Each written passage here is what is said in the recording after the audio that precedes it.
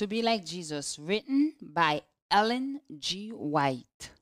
Come, thy fount of every blessing, tune my heart to sing thy grace.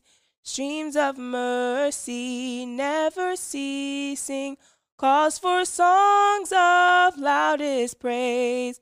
Teach me ever to adore thee. May I still thy while the hopes of endless glory fills my heart with joy and love. Relating to the natural word, August 31st. Keep streams of beneficence in constant circulation. Do you not say, There are still four months, and then comes the harvest? Behold, I say to you, Lift up your eyes and look at the fields, for they are already white for harvest. John chapter 4, verses 35. Human power did not establish the work of God, neither can human power destroy it. To those who carry forward his work in face of difficulty and opposition, God will give the constant guidance and guardianship of his holy angels. His work on earth will never cease.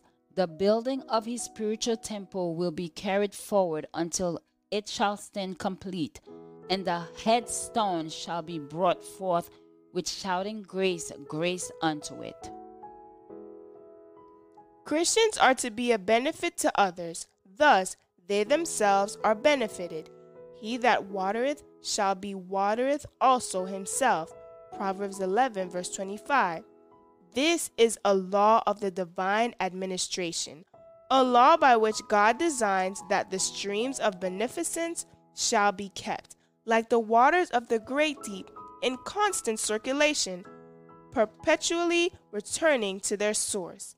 In the fulfilling of this law is the power of the Christian mission.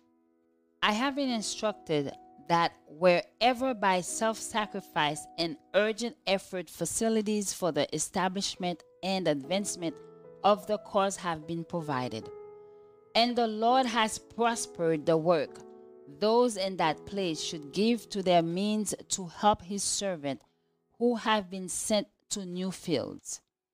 Wherever the work has been established on a good foundation, the believers should feel themselves under obligation to help those in need by transferring even at great sacrifice a proportion or all of the means which in former years have invested in behalf of the work in their locality.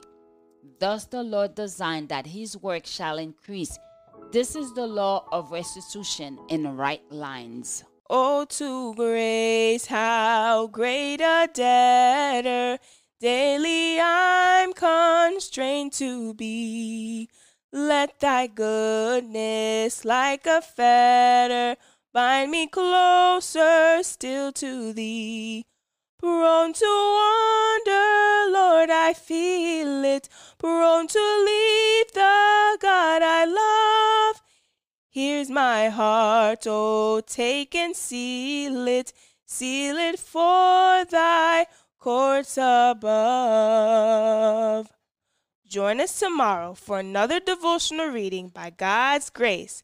Immerse yourself in the Word of God and His creation, and you will be truly blessed.